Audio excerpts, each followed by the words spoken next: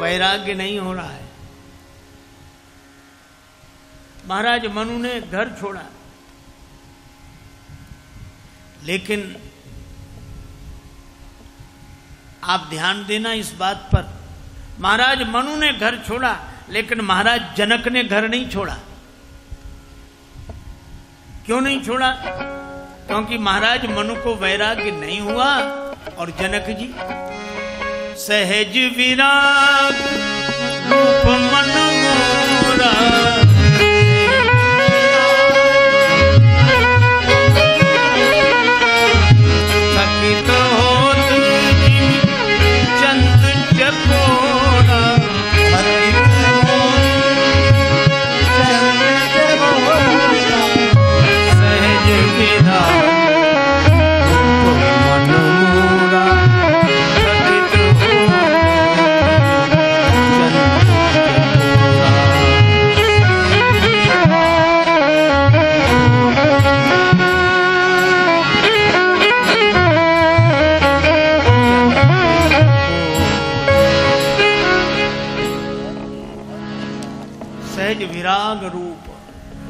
जनक जी के मन में सहज वैराग्य है।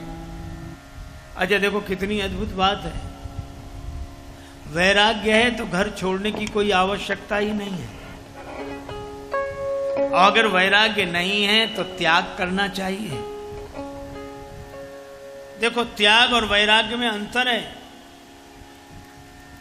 त्याग और वैराग्य में अंतर है।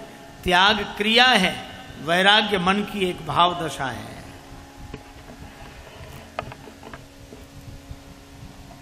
एक उदाहरण से बात स्पष्ट हो जाएगी। एक रेलगाड़ी के फ़र्स्ट क्लास के डिब्बे में, पुराने जमाने की बात है, कूपा में, फ़र्स्ट क्लास के कूपे में एक महात्मा बैठे।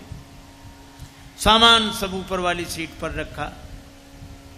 प्रसन्न बैठे, यात्रा कर रहे थे। अगले स्टेशन पर गाड़ी रुकी, एक सेठ जी आए उनके पास भी उतना ही सामान। उनका भी उसी कूपे में रिजर्वेशन सामने वाली बर्थ पर उन्होंने भी सब सामान रखा, गाड़ी चल दी। सेठ जी महात्मा को बार बार देखे। न तो उन्होंने हाथ जोड़े, न प्रणाम किया, न सीताराम, न राम राम, न राधे श्याम, कुछ नहीं। देखे हुए बस महात्मा बहुत देर तक उनकी शारीरिक भाषा सुनते रहे। देखते रहे। धीरे धीरे बस बिगड़ गया। कलयुग आ गया।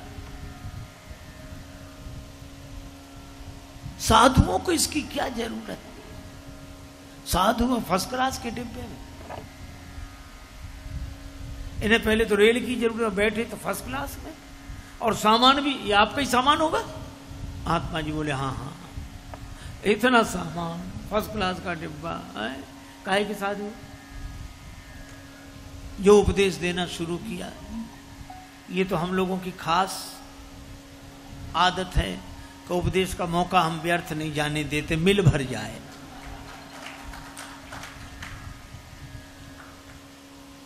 पर महात्मा तो महात्मा प्रसन्नता पूर्वक शांत रहकर सुनते रहे। कल युग आ गया, संत बिगड़ गए, संत बिगड़ गए, साधु बिगड़ गए। महात्मा जी ने अंत में कहा कि महाराज, सेठ जी से कि आज तो आपके उपदेश ने हमारी आँख खोल दी। सेठ जी बोले, सत्संग खोल ही देता है आँख, इसीलिए तो किया है। तो क्या कह रहे थे आप? सेठ जी बोले, हम में आप में क्या अंतर? केवल कपड़ों का अंतर है। बस। कोई अंतर नहीं।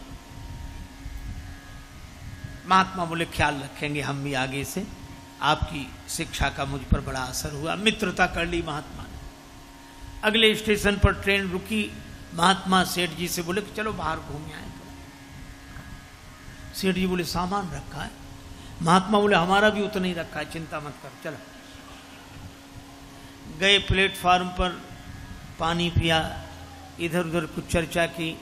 एक बेंच पे बैठ गए, सत्संग की चर्चा हो रही थी, तब तक ट्रेन के चलने का समय हुआ। गार्ड ने विसिल बजाई, झंडी दिखाई और ट्रेन जी घबरा बोले महाराज, रेल जा रही, रेल जा रही। महात्मा बोले, ये तो रेल स्टेशन है, प्लेटफार्म जाती रहती, गाड़ियाँ जाने दो, दूसरी आ जाएगी।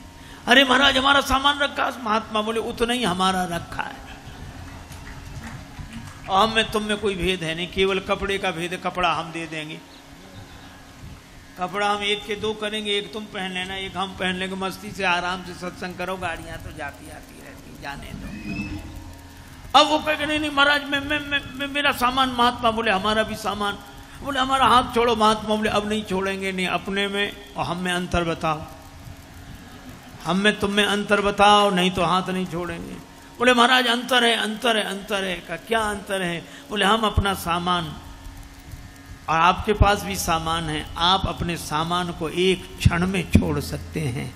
हम ज़िंदगी में नहीं छोड़ सकते हैं, बस यही अंतर है।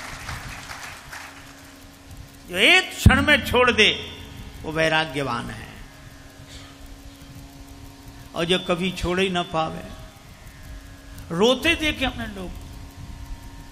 श्री कबीरदास जी ने कहा, मरा हुआ ज़िंदा को मारे, यह तो बड़ा अचंभा रे मरा हुआ। अच्छा आपने कभी देखा कि कोई मकान रो रहा हो किसी के लिए? मकान नहीं रोता। और मकान के लिए अनेक रोते मिल जाएँगे मकान नहीं है, मकान नहीं है, मकान। मकान किसी के लिए नहीं रोता। मरा हुआ ज़िंदा को मारे, राग के कारण। अच्छा इसीलिए हम लोग सुनते हैं कि संत शरीर छोड़ देते हैं। पर संत ही हैं जो शरीर छोड़ सकते हैं।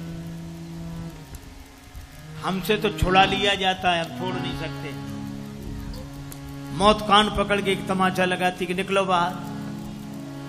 मौत छुड़ा लेती है, पर संत छोड़ देते हैं। क्योंकि संत जानते हैं कि बर्खास्त होने से इस्तीफा दे देना अच्छा है।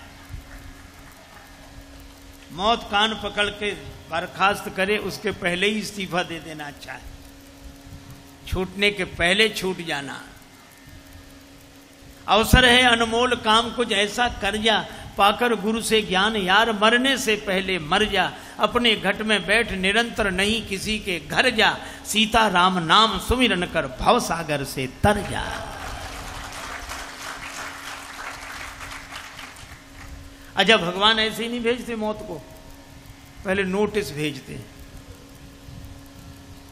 मान लो सफ़ेद बाल हो गए। नोटिस आ गया कि अब जाने के दिन आ रहे हैं, तैयारी करो। पर आदमी बड़ा विचित्र एक भी नोटिस नहीं मानता ये। भगवान ने बाल सफ़ेद किए, ये कहता, कोई बात नहीं, हम काले करा लेंगे। इसको देखते ही नहीं सफ़ेद। जब देखो तब तो काले। भगवान ने आँख में थोड़ी कमज़ोरी दी कब दिखना बंद हो रहा है, बुढ़ापा आ रहा है, सावधान। आदमी कहता, कोई बात हम चश्मा लगवा लेंगे। दांतों में गड़बड़ी हुई, बोले, कोई बात नहीं नई बत्ती लगवा लेंगे। कान गड़बड़ हुआ, बोले, हम मशीन लगवा लेंगे। जब सारे नोटिस नकार दिए, तब भगवान ने मौत भेजी।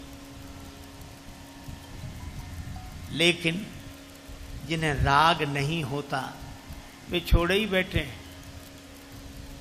अलग नहीं है, असंग हैं। पर महाराज, मनु का राग नहीं छूट रहा है। और जब राग नहीं छूटता तो अनुराग कैसे आए?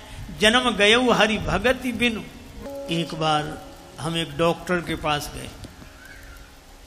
डॉक्टर एलोपैथी विधा के मर्मज्ञ थे। उन्होंने हमें देखा और हमसे कहने लगे, आपको डायबिटीज़ है? हमने कहा, बहुत वर्षों से है। तो बोले, एक काम करना, आप किसी ताबीज, गंडा, विभूति आदि के चक्कर में मत पड़ना, ये मिटेगी नहीं। आप तो दवा खाते रहना समय से और परहेज करते रहना तो कंट्रोल में बनी रहेगी, मिटेगी नहीं। उन्होंने ये बात कही थी डायबिटीज़ के संदर्भ में। मुझे हर संदर्भ में यही बात ठीक लगी। जैसे डायबिटीज़ मिटेगी नहीं, दवा खाओ, परहेज करो तो कंट्रोल में रहेगी। इसी तरह काम, क्रोध, लोभ, मोह, मद, मत्सर, ये मिटने वाले नहीं हैं, इनको मिटाने वाले मिट गए। आप तो सत्संग की दवाई खाओ, कुसंग का परहेज करो तो कंट्रोल में बने रहेंगे। कंट्रोल में बने रहेंगे। हम बहुत सोचते हैं, मिठाई ना खाएँ, पर कई बार सोचते हैं, आज खा लें, कल से बंद कर देंगे। और वो कल कभी आता ही नहीं। तो अगर वैराग्य नहीं हो रहा तो त्याग करो। वहाँ रहो ही नहीं जहाँ मिठाई हो।